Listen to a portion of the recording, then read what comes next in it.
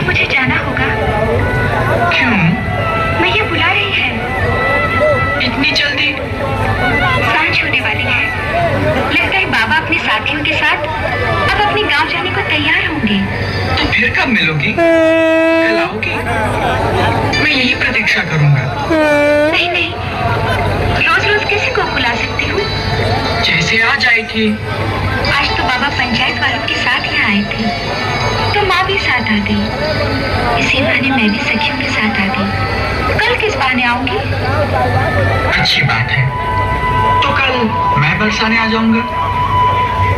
जब मुरली बजाऊं तो समझ लेना कि मैं नदी किनारे तुम्हारी राह देख रहा हूँ। ना ना मैं हाथ जोड़ती हूँ। मुरली ना बजाना। क्यों? तुम्हारी मुरली के सुरों में न जाने क्या जादू है।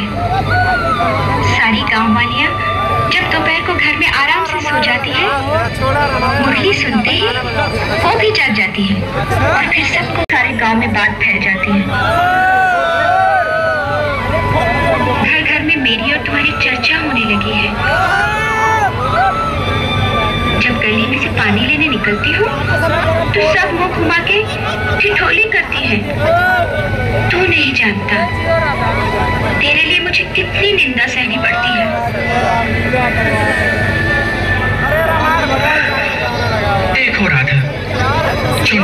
से डरे, उसे प्रेम की डगर पर नहीं चलना चाहिए।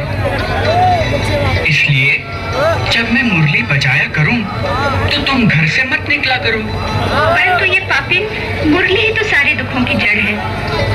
इसे सुनकर आए बिना रहा भी नहीं जाता मुझसे। इस सौतिन के सुर तो जैसे पाश में बाँध कर ले आते हैं मुझे। इसीलिए कहती हूँ, मुझ पे दया करो। ना हमारे गाँव आओ और ना मुरली बजाओ फिर तो प्रेम करना छोड़ दो। ये भी तो संभव नहीं है। फिर ये भी संभव नहीं कि मैं आना छोड़ दूँ। देखो राधा मुझे किसी निंदा का डर नहीं। मैं तो केवल प्रेम के वश में हूँ। और प्रेम